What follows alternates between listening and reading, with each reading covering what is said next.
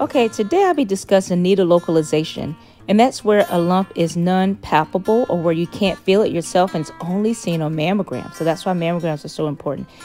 This is the lump. You see how small that is?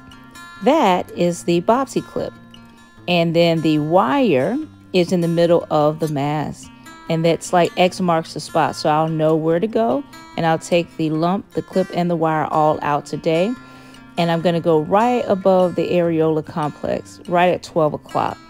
And I'll take some normal tissue around it as well. This is just a different view. And again, I'll go right above the areola complex. So I'm working here, removing the mass and the wires in place, as well as the mass that I can't feel.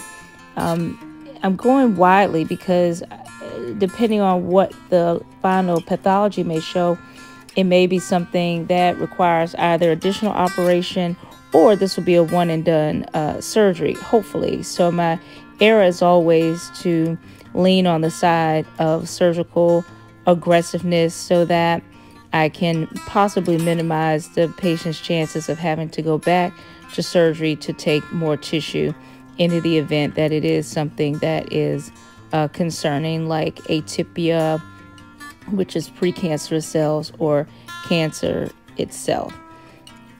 All right, so the mass is out, all done. Thank you for going on this journey with me from our breast health to our best health. Until next time, let's treat it, beat it, and move on.